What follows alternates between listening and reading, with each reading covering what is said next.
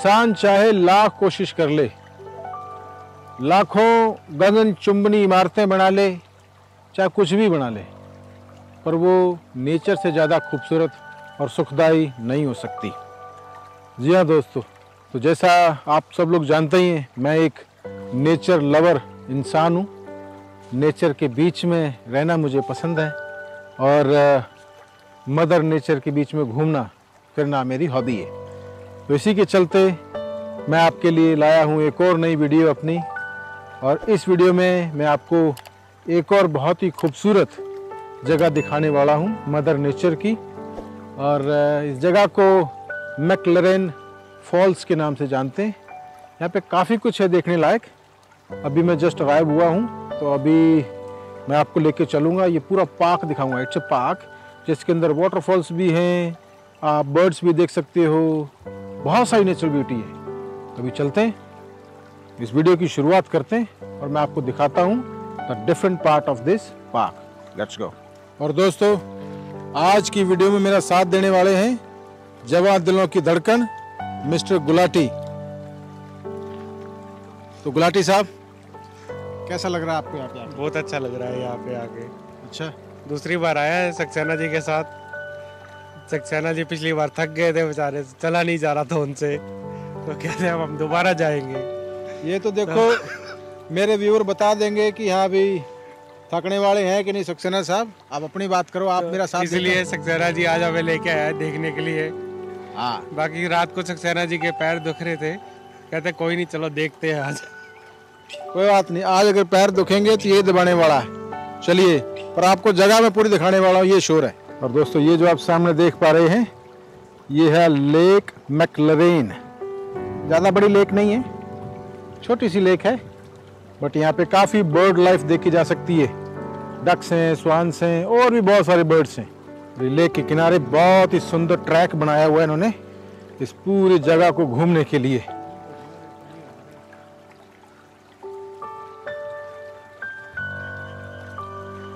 इसमें कोई शक नहीं है कि जगह को बहुत अच्छी तरह मेंटेन किया गया है। एकदम साफ़ सुथरी जगह है। और फैमिली वेकेशन के लिए ये बहुत ही अच्छी जगह है। अगर आपको पिकनिक के लिए आना है, सारी तरह की फैसिलिटीज़ हैं यहाँ पे। कैंपेन भी यहाँ पे कर सकते हैं टॉयलेट बाथरूम सब कुछ है यहाँ पे।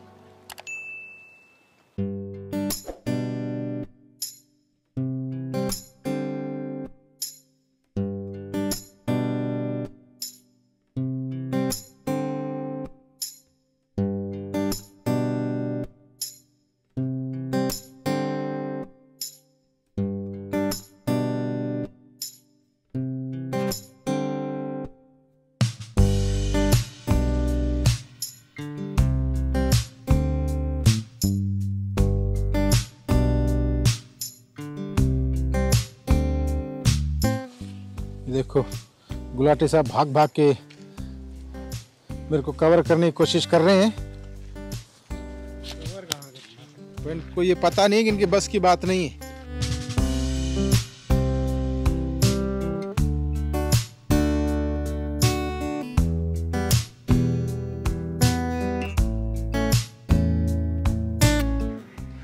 दोस्तों, एक साइन आ गया यहाँ पे। रहा कि लेक साइड ट्रैक 25 मिनट, डेढ़ किलोमीटर लगभग। वाटरफॉल ट्रैक, इस तरफ़ तीन minute. Glowworms seven minutes. 500 metre लगभग, साढ़े चार सौ मीटर।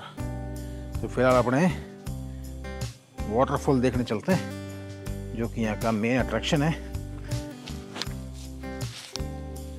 गुलाटी साहब से रिव्यू ले लेते हैं। बिल्कुल गुलाटी साहब इस जगह को देख के आप क्या बोलोगे? कैसा महसूस हो रहा है आपको?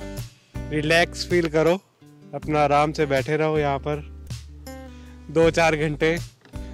जैसे सक्सेना जी का शरीर थक जाता है तो यहाँ के बैठ जाए। सन बात ले ले वो कोई देखेगा भी नहीं आराम से बैठे भी रहे। सक्सेना जी नहीं थकते। कल दोस्तों मुझे तो वॉक करने का शौक है। ये गुलाटी जाब जैसे तो बहुत कुछ कहते हैं। इनका क्या बुरा मानना और क्या सीरियस लेना पर हाँ अगर आपको वॉक करने का शौक नहीं है ज़्यादा वॉक करना पसंद नहीं है तो आप ये वाटरफॉल के पास बिल्कुल अपनी गाड़ी ला सकते हैं यहाँ पे भी पार्क कर सकते हैं। तो इस पूरे पार्क में बहुत सारी कार पार्क्स हैं तो आप कहीं पे भी आके पार्क कर सकते हो और हर जगह टॉयलेट है।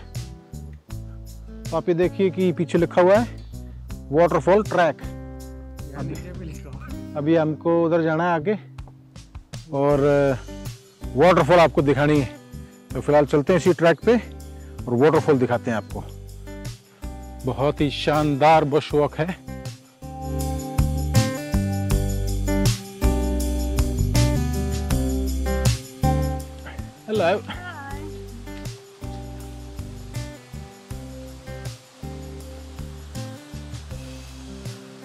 दोस्तों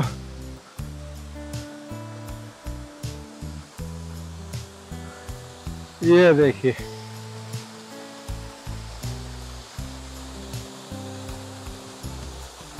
ये है यहाँ का वाटरफॉल आप ये देखिए दोस्तों कि पानी कितना साफ़ है झरने का। एकदम क्रिस्टल क्लियर पानी है। तो दोस्तों मुझे तो यहाँ पे आके बहुत अच्छा लगा। बहुत ही रिफ्रेशिंग जगह है। रियली नाइस और ट्रैक बहुत अच्छा है। और ऐसा नहीं है कि बहुत ज़्यादा कोई चैलेंजिंग वॉक है। नहीं। अगर आपको वॉक करनी है तो ये काफ़ी लंबी वॉक हो सकती है अगर आप स्टार्टिंग में कार पार्क कर दो। लेकिन अगर आप चाहो तो हर जगह कार पार्क हैं। कहीं पे भी पार्क करके आप ऐसी लोकेशन पे आ सकते हो। रोतरवा से 70 किलोमीटर के डिस्टेंस पे है। तौरंगा से यही कोई 10-15 किलोमीटर होगा। तो गुलाटी साहब यस दिल से बताना वाटरफॉल देख के आपको मज़ा आया कि नहीं? एक तो ये ना लौंडा बिना बात के हंसता बहुत मेरा मन करता है मैं इसको इस वाटरफॉल में धक्का मार दूँ। पर वाटरफॉल इतना डूँगा है नहीं कि हम उसमें डूब जाएँगे। तैरना बेशक चाहे हमें नहीं आता हो हाँ। पर पानी बहुत ठंडा है वाटरफॉल का। पानी बहुत ठंडा है। पर पानी इतना साफ़ है सक्सेना जी दो बार पिया है पानी बताओ। हाँ। इतना क्रिस्टल क्लियर पानी है यहाँ का। क्या पहाड़ों से ताज़ा पानी आ रहा है। हाँ, हिमाचल वाली का पानी है। हाँ। तो फ़िलहाल ये तो था वाटरफॉल अभी हम इस जगह को थोड़ा और एक्सप्लोर करेंगे। आपके और हमारे एंटरटेन के लिए क्योंकि जगह बहुत खूबसूरत है। तो मेरा मन है आज मैं कुछ घंटे तो यहाँ पे स्पेंड करने वाला ही हूँ। अब ये निकाऊ ट्रैक है एंड ग्लो वोम्स ट्रैक तो गुलाटी साहब कौन सा ट्रैक करना पसंद करोगे? हम यहाँ आ जाएँगे। निकाऊ ट्रैक दस मिनट। और हम इसको पाँच मिनट में जाके दिखाएँगे। हाँ। चलिए। सारा कुछ देख के जाएँगे। कुछ भी नहीं छोड़ने वाले हम यहाँ पे।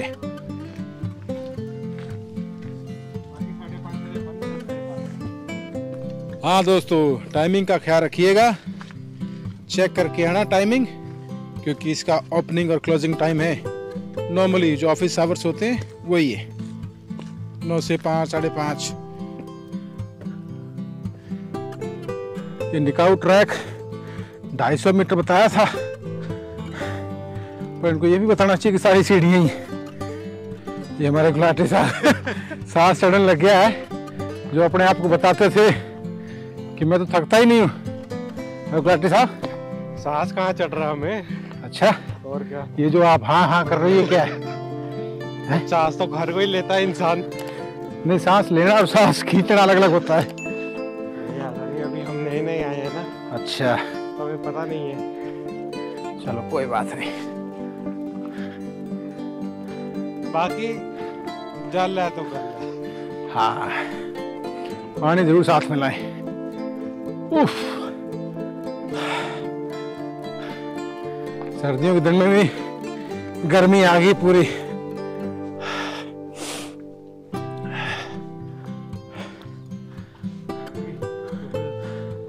सौ मीटर बताया था, ढाई सौ मीटर है नहीं ज़्यादा धोखा कर दिया।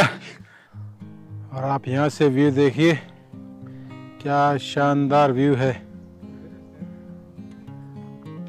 वेल दोस्तों, जैसा कि आपने देखा कि निकाऊ ट्रैक तो किसी की प्रॉपर्टी के पास जाए ख़त्म हो रहा है। और ये पूरा कर लिया हमने। तो दोस्तों, अब हम चलेंगे ग्लो वोम ट्रैक की तरफ़। देखते हैं इस ट्रैक पे हमको क्या कुछ देखने को मिलता है।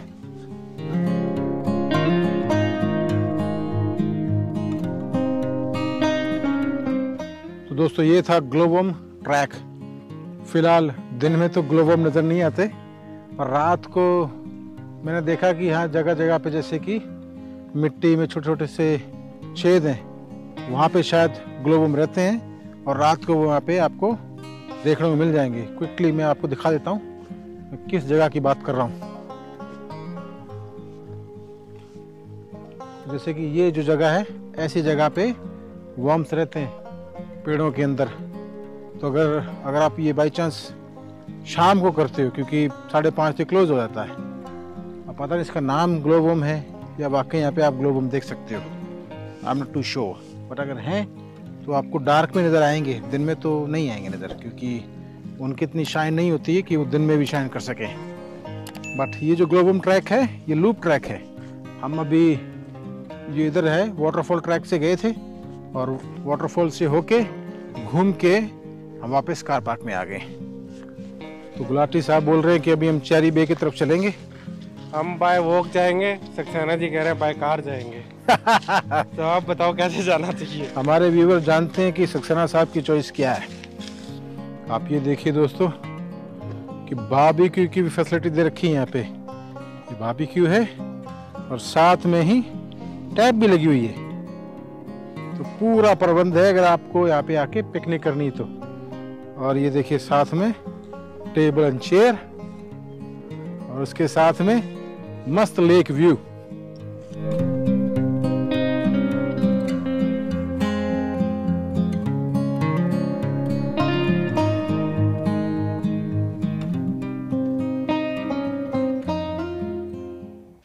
चलिए दोस्तों, अब मैं आपको लेके चलता हूँ। यहाँ की जो मेन वाटरफॉल है, उसकी तरफ़। वेल मेरे को चलते यहाँ पे तीन चार घंटे हो गए हैं। और नो डाउट मैंने अपने दिन को पूरा एंजॉय किया यहाँ पे। कोई डाउट नहीं है। बहुत ही अच्छा लगा। इसको बोलते हैं द वेल स्पेंट डे ये देखिए दोस्तों। ये है मैकलरेन फॉल्स अभी फ़िलहाल इस ब्रिज को क्रॉस करके हम उस तरफ़ चलते हैं और देखते हैं ये फॉल का एक्सेस हो कहीं तो। मेरा बहुत मन है कि मैं इसके पास जाऊँ। ये देखिए दोस्तों काफ़ी सारे यहाँ पे वाटरफॉल्स हैं। तो दोस्तों, ये है मैकलरेन फॉल्स बेहद ही खूबसूरत है। वेल फ़िलहाल नीचे जाने का कोई प्रॉपर एक्सेस नहीं है। डेंजर है साइन लगे हुए हैं। और थोड़ा जितने भी रॉक्स हैं, सारे वेट हैं। तो फ़िलहाल मैं कोई भी रिस्क लेने के मूड में नहीं हूँ। गुलाटी साहब से पूछ लेते हैं। गुलाटी साहब, आप कोई रिस्क लेने के मूड में हो? नहीं, हम ऐसा रिस्क नहीं लेंगे। रोक भी बैठा है रास्ता भी नहीं है। रिस्क ही लेना चाहिए। ठंड वैसे बहुत हो रही है। रिस्क नहीं लेंगे। लेकिन मैं अभी ड्रोन से इसके शॉट लेने वाला हूँ। तो होपफुली आपको शॉट बहुत पसंद आएँगे।